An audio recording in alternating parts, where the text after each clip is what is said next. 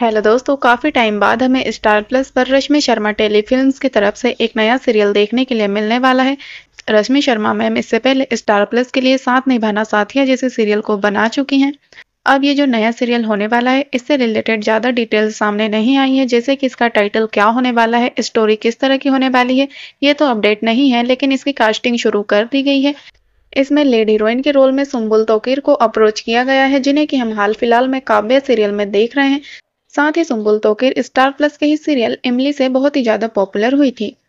Lead hero के role में रोहित चंदेल को अप्रोच किया जा रहा है। रोहित चंदेल को भी हम स्टार प्लस के ही सीरियल पांडे स्टोर में भी देख चुके हैं। ये ये इसके अलावा भी कई सीरियल में रोल प्ले कर चुके हैं। तो दोस्तों, अभी तक इन्होंने ऑडिशन नहीं दिया है, सिर्फ़ इन्हें अप्रोच किया गया है। अगर ये फाइनल हो जाते हैं तो अपकमिंग डेज़ में मैं आपको कन्फर्मेशन अपडेट बता दूँगी।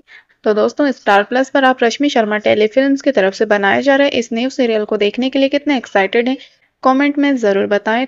अपने फेवरेट एक्टर और फेवरेट टीवी शो से जुड़ी लेटेस्ट अपडेट जानने के लिए जुड़े रहिए मेरे चैनल से। Thank you